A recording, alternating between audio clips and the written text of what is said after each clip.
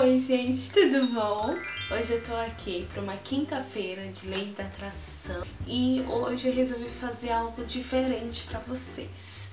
Faz um, algum tempo, no final do ano passado, eu vi uma publicação em um site, na verdade em alguns sites, e achei tão legal que eu queria compartilhar com vocês. Mas, como não tinha abertura, não tinha um quadro, não tinha contexto para contar para vocês, eu acabei nem abordando aqui. Eu não sei se eu cheguei a tocar no assunto em algum momento, mas enfim. E aí, eu pensando, refletindo, peguei e cheguei à conclusão de que eu iria compartilhar com vocês é, curiosidades que eu tenho encontrado ao longo da semana tal sobre a física quântica, né? Assim como no último vídeo, vocês devem perceber que eu estou aqui na cama, mas logo logo eu volto ali, ali pro meu estúdio, né? A minha ideia, gente, deixem nos comentários o que vocês acham, tá? Eu tava pensando, Jéssica, você quer compartilhar com as pessoas curiosidades que você vai descobrindo, que você vai lendo em artigos, né? E você gostaria que as pessoas também lessem esses mesmos artigos e que compartilhassem ali a experiência, né? E entendessem. Porque assim, eu quando eu li o documentário, eu mandei esse documentário e comentei com todo mundo que eu conheço no trabalho mandei por Skype para as minhas amigas, por e-mail, mas assim, nem todo mundo se interessa muito por física quântica, né? Então, assim, por lei da atração, esses assuntos. Então, eu gostaria de compartilhar com você, porque se você tá aqui nesse vídeo, é sinal de que você gosta do assunto, né? E você pode, pode achar interessante também. Então, eu vou ler pra vocês, vou deixar o artigo aí embaixo também pra você ler na íntegra, pra você entender. E aí eu vou refletir um pouquinho sobre algumas coisas que passaram na minha cabeça depois de eu ler esse esse artigo, né, enquanto eu passava na internet, falei, nossa, que legal. E, enfim, eu vou ler pra vocês. Esse artigo eu li, se eu não me engano, foi esse mesmo artigo que tá na Super Interessante, né, da revista, que eu vou deixar o link aí. Mas eu li em outros artigos, se eu não me engano, do UOL. Eu vi em vários outros sites, assim, falando sobre o mesmo assunto. E aí fala o seguinte cientistas descobrem misterioso quarto estado da água. Presta atenção. Nem sólido, nem líquido, nem gasoso, nem neste estado, a água é capaz de estar em dois lugares ao mesmo tempo, sem respeitar as leis da física. Olha que interessante, gente. A água não precisa estar em estado sólido, líquido ou gasoso, como aprendemos na escola. Basta ela se sentir pressionada o suficiente que surge uma quarta fase que a física clássica não é capaz de explicar. Olha que demais. Gente, eu achei mágico. Na hora que eu comecei ali, eu fiquei do sorriso daqui até aqui. Eu, eu já explico por quê. A descoberta bizarra foi feita por pesquisadores do Laboratório Nacional.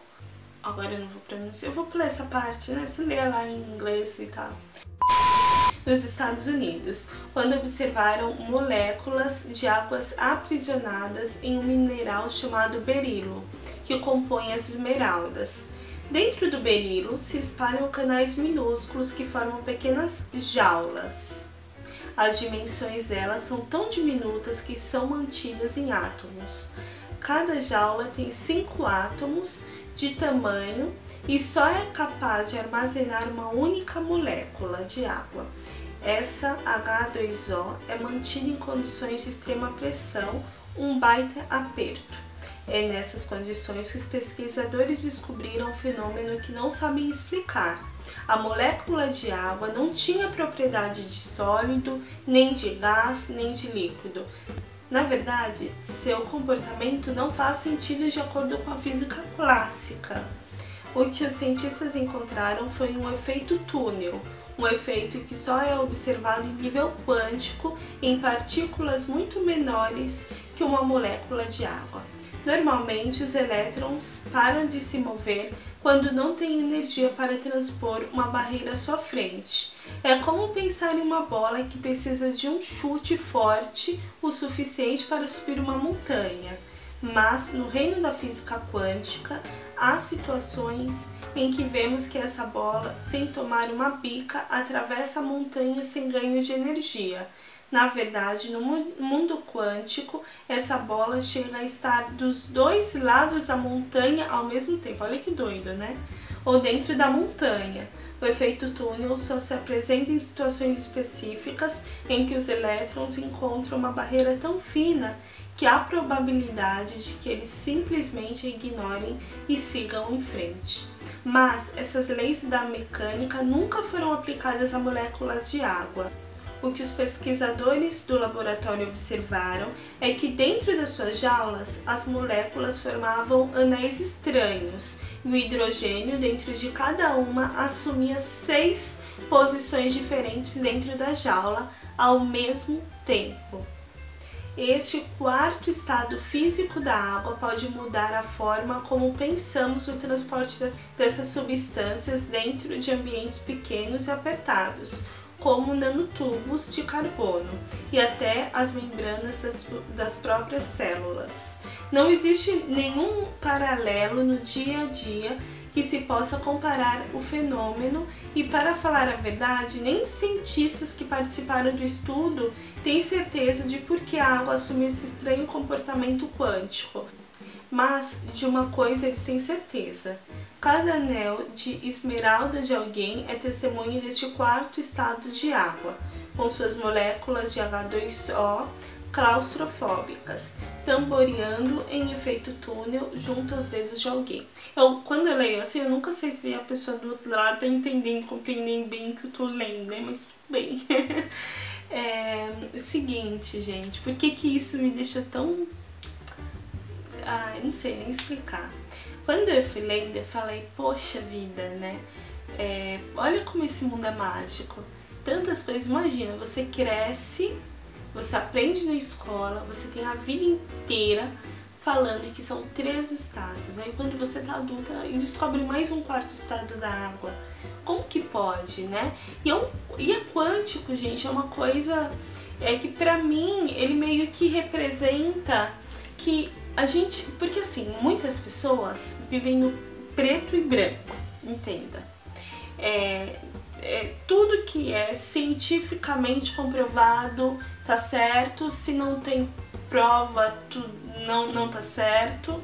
E, enfim, não, não tem um balanço ali, não tem um...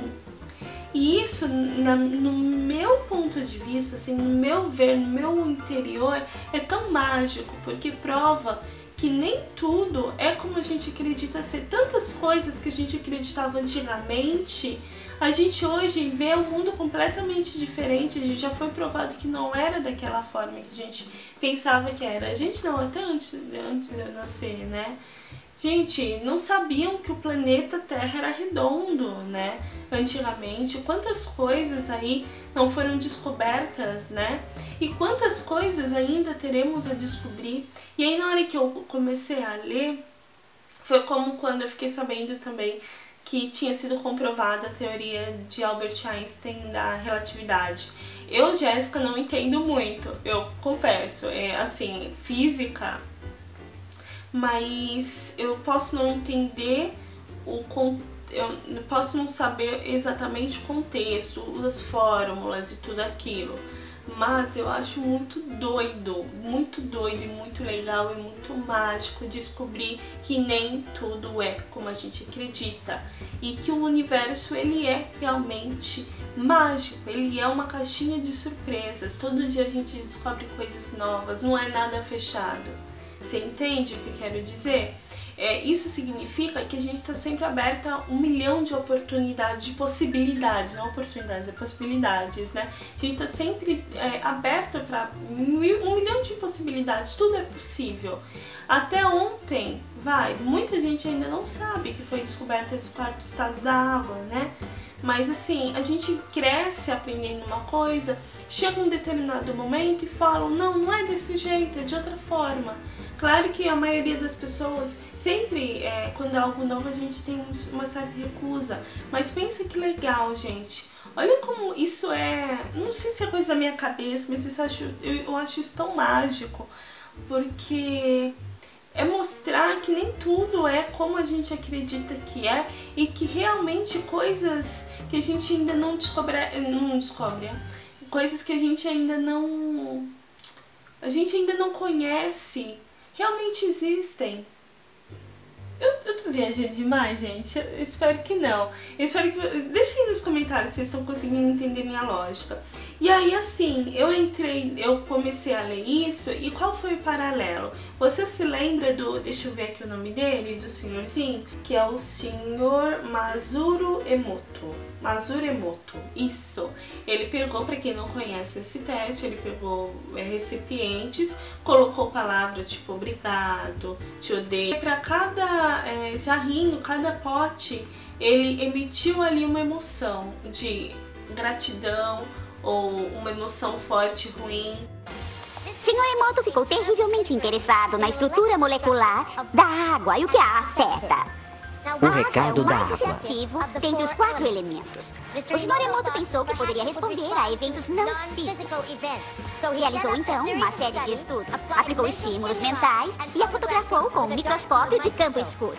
Esta primeira foto é uma foto da água... Represa Fujiwara antes.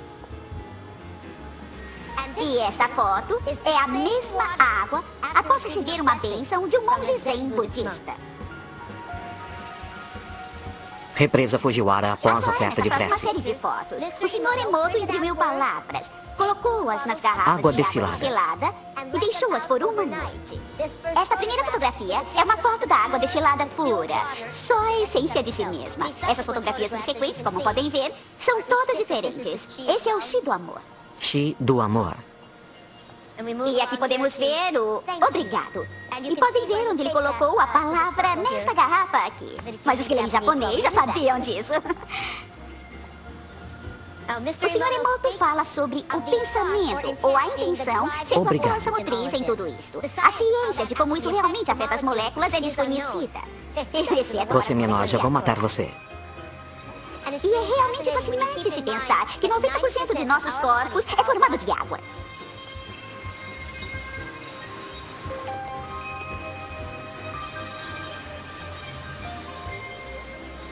Faz a gente pensar, não é? Se pensamentos podem fazer isso à água, imagine o que nossos pensamentos podem fazer conosco. E aí nisso, nesse paralelo, eu penso, né? Por que, que a água se moveu desse jeito? As partículas, elas se moldaram com a energia emanada para aquela, para aquele, né, para aquele pote. Por quê? Será que não tem alguma ligação com o quarto estado da água? Foi uma coisa que me veio na cabeça, não sei. Eu posso estar viajando, mas eu consegui encontrar um nexo. Porque, claro, tudo é energia, a gente joga uma energia para as coisas, aquilo é, absorve de certa forma, né? Nós somos pura água, então a gente tem que ter muito amor, muito carinho, muitas palavras de amor para nós mesmos, para com nós mesmos. Mas pensa, né? Ele fez esse teste na água e a água, a partir do momento em que a gente sabe que existe um quarto estado da água que é quântico, pode ter sido ali. Eu vou deixar, gente, de verdade, link, o link aqui embaixo, os links tanto do experimento dele, quanto da água, né, do quarto estado da água, para que você mesmo leia. E eu gostaria muito que você deixasse aí nos comentários o que você achou, o que, que para você significa isso, qual é a sua interpretação disso. E se você se interessa por esse tipo de quadro, que eu acho interessante, às vezes compartilhar coisas vira e mexe, né? Como eu gosto, eu fico procurando coisas assim diferentes, enfim. Falei bastante, né? Eu falo, Jéssica, você vai fazer vídeos mais curtos. E ó, esse eu nem sei quantos minutos já tô aqui falando. Te gratidão enorme por assistir até aqui. Se inscreve aí também para receber novos vídeos, lei de, assuntos voltados à lei da atração ou vegetarianismo toda quinta-feira, se você gostar desse tema. Se inscreve nas redes sociais, né? Me siga nas redes sociais. Se inscreve aqui no canal também. Não escreve, não escreva. Não esquece de ativar o sininho para receber notificação sempre que sair um vídeo novo aqui também. Deixe o seu comentário e não esquece de deixar o seu gostei é, para saber que você gostou do vídeo E deixa aí nos comentários o que você achou. Você já sabia desse, desse quarto estado da água? O que, que né? O que passa pela sua cabeça a respeito disso, né? Você conseguiu ver né, isso aí meu, na minha interpretação, no meu pensamento a respeito do assunto? Conseguiu ver? Então, deixa aí nos comentários pra saber, tá bom? Gente, gratidão enorme por assistir até aqui. Um super, hiper, ultra, mega beijo. Tchau!